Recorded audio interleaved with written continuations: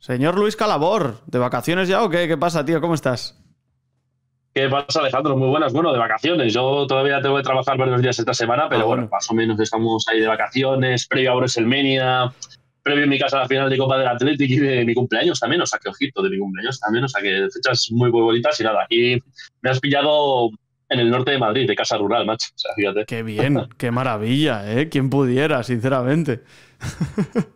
No, me quejo, no me quejo, no me quejo, no me quejo. No, no, no es para quejarse, desde luego, ¿no? Yo con suerte llego al miércoles vivo y así puedo tener unos días de vacaciones. Con suerte, pero ya veremos qué pasa, ¿no? Em, esperemos, esperemos. Habrá que verlo, habrá que verlo, según el buqueo que te den, ¿eh? Va a depender del buqueo que te den esta semana. Va a depender del destino, ¿no? Que nos depare en este caso Triple H. Pero bueno, eh, si queréis seguir al destino, seguid a Luis, está bien en arroba Luigi Wrestling en X y sobre todo en su canal de Twitch con ese mismo nombre para todo lo que tenga que ver con WWE, para todo lo que tenga que ver con las noticias, la actualidad y eh, los resúmenes también de, los shows. Así que nada, Luis, eh, este es uno bueno, ¿eh? Este es uno de los buenos. Yo. yo creo que, decir muchas palabras hiperbólicas quizá no tiene sentido a estas alturas, ¿no? Y que quizá esas palabras podrán llegar mm, a lo largo de los años. Pero estamos hablando posiblemente de uno de los mejores roles de los últimos tiempos, eso seguro es un RAW de otra época para mí. Para mí es un RAW de una época muy diferente. Eh, no voy a decir de la titucera y demás, pero es un RAW. Claro, decir que es generacional cuando ha pasado un día es un poco como, ostras, faltar el, falta un poco ahí, claro, la, perspectiva de que pasen los, los, días y los meses y los años. Pero yo ayer, mira, hay un término que se usa, se sobreexplota ahora mismo, se sobreexplota, que lo usamos a la mínima, que es el de cine, sexo y todo esto. en este caso, en este caso sí que ha sido, sí que ha sido cine, sí que ha sido un show que se te pasa rápido. O sea, a mí las tres horas lo vi con anuncios y todo y se me pasó rapidísimo, se me pasó volando. O sea, estaba en la última hora pensando, no puede ser que ya estemos en la última hora, ¿no? Y mm, es un show que también abre un debate, para mí creo que también abre un debate sobre sobre la clásica clasificación esta de, bueno, de PG, de TV14, creo que ahora sí que se puede abrir ese debate porque lo que vimos ayer no fue PG precisamente, ¿no? Como diría Artur.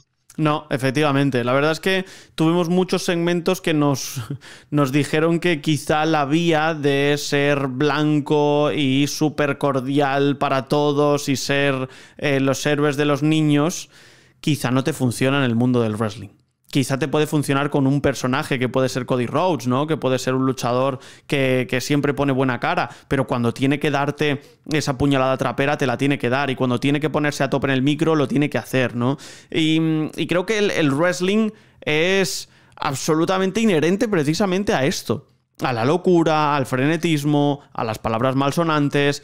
Esto es lucha libre. Quiero decir, eh, entiendo la capacidad de WWE, ¿no? De intentar atajar también al público joven. No lo ha conseguido durante muchas épocas y ahí con algunos luchadores que sí, con John Cena, creo que con Cody Rhodes también en estas últimas etapas. Ahora también te... Ahora, ahora sí. Digo, ahora bien, eh, estamos en un momento en el que necesitas algo más. Y necesitas algo más para, para, que esto se sienta legítimo, para que se sienta personal, para que se sienta algo mucho más allá de la pura ficción. Y yo creo que ahora mismo WWE, gracias a Cody Rhodes y especialmente a The Rock, lo ha conseguido, ¿no? Pero sobre todo con esta rivalidad entre ellos dos, más allá de lo que pueda pasar eh, por detrás.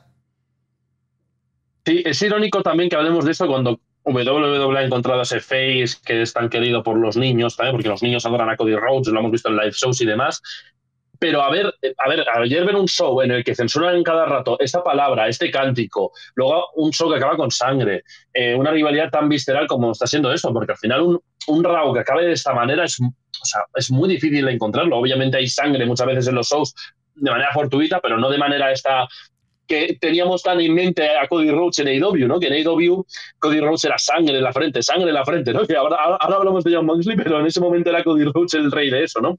Entonces, es un debate que obviamente hay que abrir, porque lo dijo John Cena en su momento.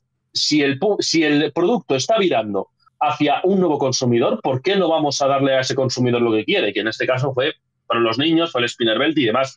Entonces, ahora mismo, claro, ha habido muchas críticas a The Rock por si esto, por si lo otro, pero yo, yo ahora mismo creo que me parece el MVP de este Road to WrestleMania. Fíjate lo que te digo, ¿eh? The Rock me parece el MVP de este Road to WrestleMania. Lo que hace ayer como Hill, metiéndose con Mama Rhodes, la sangre, es es trabajo de ficción puro. Me parece que que ya va siendo hora de decirlo que The Rock está siendo el MVP, obviamente porque Roman Reigns está tapado y demás, pero, pero tiene mucho mérito porque esto es un run para mí el de The Rock que lo veremos pasados unos años y diremos, ostras, ¿qué hizo The Rock en 2024? Sí, seguro, seguro que volveremos atrás y diremos que una de las grandes etapas de The Rock en WWE fue esta. Estoy plenamente convencido, ¿no? Que muchas veces ha sido The Rock intermitente, que muchas veces no sabíamos hacia dónde iba o cómo iba y que muchas veces nos dejó un poco a medias porque se marchó, ¿no? A otros lados y puede ser todo eso cierto y puede ser cierto también que The Rock es un luchador este sí generacional y no y creo que creo que la palabra se le queda corta no eh, este rock no sé si es generacional o no sé que este de rock sí lo es. Y fíjate que mm, a mí el segmento me mantuvo me mantuvo al borde del asiento esta mañana cuando lo he visto porque me ha parecido extraordinario. El segmento final y el segmento inicial también. Porque el final sí, tienes ahí la sangre puesta en el cinturón de, The Rock, para mí es espectacular. Y todo lo que dice The Rock en plena lluvia, ¿no? Con la atenta mirada, ¿no? En los, en los trailers de John Cena y de Stone Cold Steve Austin. Y de repente te paras a pensar y dices, wow, qué pasada. Pero ya te lo habían construido desde el principio con una aparición sorpresa de The Rock en la que le dice algo que no sabemos y luego intentamos descifrar a medida que pasa el show, ¿no? Que dice, eh, eh, te voy a hacer sangrar. Y luego sale Cody Rhodes y de repente dice en un momento bastante random, mm, es que no va a poder cumplir esa promesa. Y la cumple. ¿no? Entonces me parece que es una verdadera mm, maravilla a nivel de guion de cómo han confeccionado esta historia con The Rock y Cody Rhodes, que para mí es el gran combate y es uno que no vamos a tener en WrestleMania, que eso es verdaderamente curioso también. Para mí es un combate que si me lo das en SummerSlam no me quejo para nada. no me quejo para nada, ¿no? Porque hay gente que dice, no, traición de The Rock y tal, pero creo que también la historia de The Rock y Cody Rhodes está siendo tan compleja y está siendo tan directa que a veces los fans del wrestling queremos esto. O sea, queremos segmentos digamos, violentos, vamos a decirlo así, queremos segmentos violentos, ¿no? Que es lo que no hemos tenido con Cody Rhodes y con Roman Reigns, ¿no? Que es lo que nos ha faltado, ese segmento en el que, oye, que se peguen y, fuera, y no, hace falta nada más, ¿no? Em, y totalmente de acuerdo con, con, lo que dices. Al final creo que el segmento inicial no dice ni una palabra de rock en el micro. De hecho, Cody estaba apuntando ahí con todos los Cody Crybabies al logo de WrestleMania. Y a veces en el wrestling es, sin más, actuar a veces no es tanto hablar, porque en, este, en esta rivalidad sí que se ha hablado mucho. Luego, por ejemplo, en el segmento de CM Punk y demás que ahora hablaremos, sí que hay que hablar y mucho también. Hay que, hay que, hay que mostrar tus argumentos en el micrófono.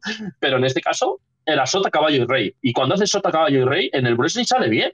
Es una sorpresa, pero es así, sale, sale bien. Es, es, una maravilla. Es para, para verlo varias veces. Sin duda alguna, este segmento, el primero, el inicial y el final, ¿no? Porque es que te lo construye todo y te, te pone la piel de gallina, ¿no? Y te dice.